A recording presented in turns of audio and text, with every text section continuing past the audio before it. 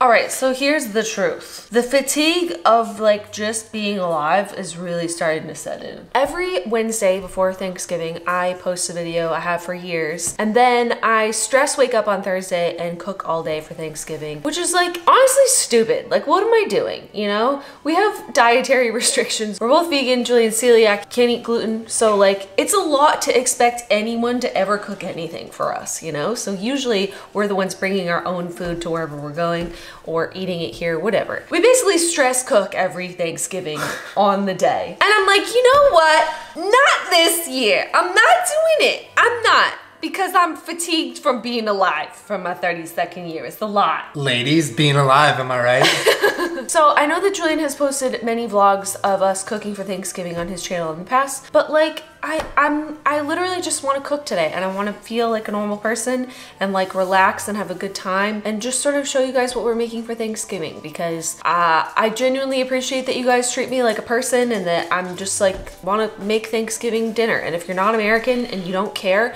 just watch us cook something. yeah, I think it'd be really nice to not wake up at the crack of dawn tomorrow and stress cook just because. Because then you don't even enjoy Thanksgiving. You're just exhausted. And you're just like sweating in the kitchen. Sweating all day. I will warn you ahead of time. We're not making like any vegetables. Warning. We're not making any vegetables because I'm pretty sure any vegan can throw down some dank green beans, but I did not save all my calories so I could eat some green beans on Thanksgiving. Forget about it. No, no, we no. eat healthy all the time. It's about carbs, okay? We're cooking only the necessary stuff, which is carbs and carbs and carbs and carbs and more carbs. Carbs giving, so. That's- you just made the food pyramid. I did, I know. So I think we're gonna start with dessert. We're making a beautiful apple crisp because we have made vegan gluten-free pies in the past. And honestly, it's so much work for such a mediocre product, it's not even worth it. So just skip to the apple crisp and give me something good that's way easier times a million, right? Why are you taking the stickers off? We're not gonna eat the stickers. But it's good, I like it. It's so nasty. Okay, here. You don't have to log your food if you it. eat the barcode. Prove it. Oh. Spit it out. I see them in your tongue. All right, so we're gonna be cooking two pounds of Granny Smith apples. We have to like peel them, right? Yeah, we have to peel all of them and cut all of them. But Why I'm are you gonna. giving me all the stickers? I love you so much, but it's not about you. To save you all the boredom of watching us cutting and peeling apples, which is riveting, I'm just gonna go ahead and do that right now. Be right back. Trying to make an assembly line. I'd say the only thing worse than peeling apples is peeling all those potatoes. I remember last year I was like, I'm never peeling another potato again. We made a fuck ton of potatoes last time. Well, because we made them for like 10 people. We cut our apples. Uh, we're just gonna make the topping really quick. So for my celiac friends, we got some gluten-free flour. How much is that? It's 1.5 cups times 1.5. Okay, we're, You can do the math. go ahead and put that in here. And then, because we're making extra topping, right? Because I think we used some extra apples. Since we're like 1.5ing the recipe, which I'll link in the description, one cup of rolled oats, and then three quarters of a cup of each sugar and light brown sugar. Earth Balance started making like nice little things like this, so you don't have to jam your spoon into that container over and over again, which is what I usually do. All my other grown ladies out there, when you're tired and you just want to enjoy your food, but like you got so much cooking and working to do and you're tired, listen, I'm not complaining, okay? I know you guys all have jobs and lives and it's hard sometimes to just cook things because you just want it to be cooked so you can eat it. It says mash, so let's try it their way. And if I hate it, I'll do it my way. Oh, oh no, it's going everywhere. I'm making a Thanksgiving mess. In a situation like this, I think bigger hands are better. Yeah, but careful hands are also really good. Get out! Julien! We can do it. We can make it if you let me do everything. Oh god. We gotta bring the sugar up from the bottom. Yeah, I love spending time with family. Hold on, let me just get full No. control first. let me get full control. No, I want full control. This is the good stuff. I don't have a lot of experience making pies. I literally make a pie once a year for Thanksgiving. And to make a gluten-free and vegan pie crust, unless you're making like a cheesecake where it's like nuts and, you know, dates or whatever, that's super easy. But like, you know, a doughy pastry pie crust is like kind of hard and takes a little practice. And I usually end up burning it a little bit. Or it just crumbles everywhere. and it's just like sort of on the apples anyways. I feel like apple crisp crisp is just like the best of both worlds and is so much easier. And it's like messy already, so you can reheat it in just like a gloopy pile instead of trying to worry about getting perfect little pie slices, which is a pipe dream. All right, so our topping is done. We're going to cover the apples in, I think this recipe calls for orange juice, which is why I picked this one. Do you want to get the apples ready? Yeah. Get ready. Get ready. so we need half a cup of orange juice.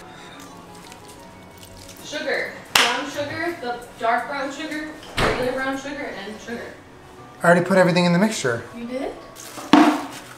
So a tablespoon and a half of cinnamon. This is a trick that I learned from Food Wishes forever ago. He says if you can, you should always grate your own fresh nutmeg because it actually makes a big difference. Doesn't that smell good? Yeah, it smells amazing. Love me some fresh nutmegs. It's a teaspoon and a half. We didn't slice them like super duper thin, but I feel like that's thin enough, right? Like what am I gonna do? Spend seven hours slicing apples super thin? Like who cares? It's gonna go in your mouth. That's a bite size for me. That's like one bite. Do you wanna taste one and see if you like the Yeah. seasoning on it? It's good. Need more cinnamon, nutmeg? I think it's perfect. So yummy. Oh, that is a lot of nutmeg I put in there. Told you to stop. I have too much cheese. Easy peasy, so much easier than a pie. Am I right, ladies? Can bring some of this to your mom, or not, because maybe it has too much nutmeg and I ruined it, and now so I just panic about everything for no reason. I'm gonna put the topping on. This recipe by itself was a double crisp apple crisp, so I'm pretty excited, because it's the best part.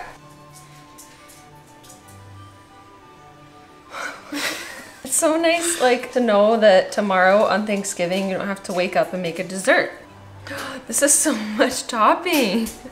Wait, I think this is too much. I think we made too much. No, it's okay. It'll be like a giant ass crust on top of everything. Okay, so it's an upside down pie. I don't know why we're packing it up. It's it an down. upside down- Like it's supposed to be like crumbly. It's an upside down pie. That's what we made. Our pie's upside down? Question mark? Um, okay, so you want to know a secret that I learned years ago for making really good apple crisp? Take some butter and just like put slices out on top. oh, okay, that's, I mean, that's probably pretty good. So we're done with Thanksgiving, right? No, no, no, no. So how long does it bake for? 30 to 40 minutes. So 20 minutes, you leave it in the oven. Take it. why, does, why does butter and sugar taste good? That's weird. Why didn't you just like lick the counter?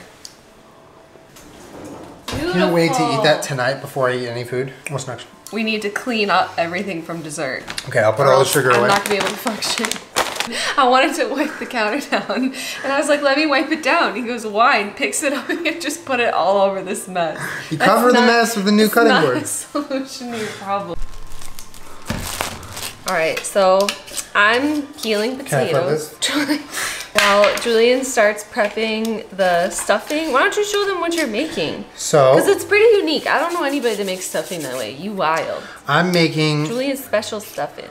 well, I just kind of like do a little bit traditional, but then I kind of add whatever I want. So we're doing onions, celery, and like bread that I'm chopping up into cubes. It's not bread though. They're bagels. Well, yeah, so they're they're little little bagel thins. These are what I like to use for stuffing because because it has like the everything bagel seasoning and it's just easy to cut and prepare. And then I'm adding some Beyond sausage because this is just the best thing in the entire world. So We've never done it with that though. I'm excited. Well, and also we have bacon bits. which are vegan because they're made out of soy. It doesn't make them good for you, but it does make them tasty. Um, I'll just be over here peeling potatoes until I just want to cry. It's beginning to look a lot like a lot of work. Remember when you were a kid and you just like showed up and all the food was just like made for you? Yeah. There was and a I whole would- bunch of like, get out of the kitchen. There's too many people in here, and you were like, all right, so sorry. Well, to be fair, that was your childhood, not mine. I was in the kitchen. So I have started the stuffing officially. Julien is Uh, adamant that he's not going to use a recipe. He's just going to make one up. I thought that you had to toast these, but I forgot that we're not making croutons, we're making stuffing. I'm So trusting you. You're gonna have the best stuffing you've ever had. I'm telling you. So right now I have the sausage on the pan. After that I added some onion and celery that I chopped. And so once that's done, I'm gonna put that in a bowl with all of this bread, not a bowl, that big pan with all of this bread, and then add some butter and stock. Stock and seasoning, and then that's that's how I don't even do know if that's how you make stuffing. Well, that's how I'm gonna make it. So So the link will not be in the description of this recipe. the link will be in my mind. There is no link. So this is the pan we're making stuffing in. So I'm going to get this butter ready. So you're gonna want to do is you want what you're gonna want to do is you take a pint glass. Oh, Julien, that's gross. I got this much butter. That should be enough, right? I keep wiping my hands on my apron. I fucking love these things, dude. So this is the sausage, onion, and celery mixture. I'm adding it to all the bread. Ooh. I'm gonna add some rosemary, thyme, and salt. Ooh. Okay. I'm gonna mix it around. So we're just gonna do like about a cup, I think. Oh. Damn, he really out here just doing whatever. Sometimes I put stock in my hydro flask when I go work out so that I'm getting salt and flavor during my so workout. disgusting. And also hydration. It's a savory Gatorade. Savorade. then I'm gonna put the butter. Oh, Or is it orange juice? Julien, butter. it's so nasty. So you're gonna bake this at however many minutes you want, at however many degrees you want, uh, whatever oven you want, um, or you don't have to bake it at all. And last but not least, this is our protein of choice for Thanksgiving. I'd say that Julien has pretty much perfected this over the years. A lot of you might be like, oh, it's sort of like it's vegan chicken. But if you add like enough like rosemary and sage and thyme and stuff in there, it really starts to taste like turkey seasoning. So we're gonna do a bunch of the flour tonight and then just make a little bit of chicken tonight so we can show you and eat some probably. Yeah. But tomorrow morning, that'll probably be the only thing that we make is like another little batch So of it's, like, chicken. fresh. Yeah, Julien really wants it to be like fresh tomorrow for Thanksgiving. So All right, so it calls for two cups of flour, but I'm gonna triple that. So we have like an assembly line going where Jenna gets the spice ready, and I just toss it in here. But it's about half a teaspoon per spice, roughly. well, you're making a lot of. We're making a lot, flour. so we're like tripling slash quadrupling. But I'll read it what it is. It's flour, nutritional yeast, black pepper, salt, sugar, paprika, rosemary, ginger, savory, thyme, sage, dill, marjoram, onion powder, coriander, cayenne pepper, red pepper flakes. Oh my god. It says a pinch of cayenne pepper, but We like to make that shit hot. If you want some spicy fried chicken, go a little ham on the cayenne. It's like a flour because you dredge them and then flour them, so it always ends up tasting like way less Toned down, spiced yeah. than you want it to be. Yeah. Plus, who's ever mad at spicy like fried chicken? Not me. All right, so our mixture looks like a whole mix of stuff, which it is, yeah. And so now salted and sugar. I didn't put salt in. So now we're gonna start mixing it around to make like the full-on seasoned mm-hmm. flour mixture. Two teaspoons of salt. Okay. All right, I'm gonna be here for a minute. To get the chicken ready to be breaded, you put it in a buttermilk mixture, buttermilk, and that's gonna come with some egg replacer, some almond milk, some apple cider vinegar. You're just gonna let the chicken sit in it. So right now I'm gonna make that. It like curdles like regular Mixture. buttermilk. Yeah, somewhere. The only thing that I really care about at Thanksgiving is something that I don't even have to make. It comes in a can and it's called cranberry sauce. My favorite part. It's in the fridge right now and I can't wait to eat her. And the most delicious part of Thanksgiving is the apple cider vinegar. Said no one ever. Actually, give me a shot of that. I won't drink it. You're disgusting. Okay, so my potatoes are finished. I'm gonna have to restart them. Um, to make vegan mashed potatoes is super easy. Just almond milk and vegan butter. So I'm just gonna do that and mash them. Potatoes are They're done. good. Mhm. The stuffing came out pretty good. It, it looks like stuffing at least. It tastes Um, really good. So then all we have to do left is fry the chicken. I'm gonna use the wet hand, dry hand method so I can fry properly. But that's it, and then we're gonna have like a little mini Thanksgiving Yeah. tonight. Well, for those of you also wondering why we don't make any gravy, I have in years past made like a nice mushroom gravy, but like I literally gravy? like forgot about it on the counter.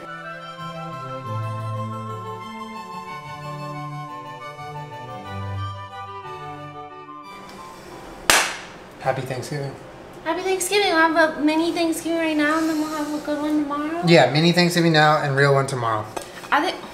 I think the nice part about this is that we tasted the flour dredge, and it could totally like use more seasoning. Yeah. So tomorrow we can just add more spices. Go crazy on that fried chicken seasoning. it is way, way, way less than you think it is. We just finished everything. Apple crisp, potatoes, stuffing, and fried chicken. No bullshit. All just things that you want to eat. And All things you want to eat. And Jenna's the cranberry. only thing that I care about. I don't get that. whole cranberry sauce. Oh. Honestly, Whole Foods kind of played me because this is like not really whole berry. It's sort of just like the jelly kind, but it's so good. What, Are What you eating that by itself? Yeah, you're not gonna eat any. It's all from me. What are you making, dog? Some sriracha mayo. Mmm. Did you put maple syrup in it or just? Yeah, yeah, yeah. Oh, Want so it's like no, no, no, no. That's like what you put on chicken and waffles. I'm hungry.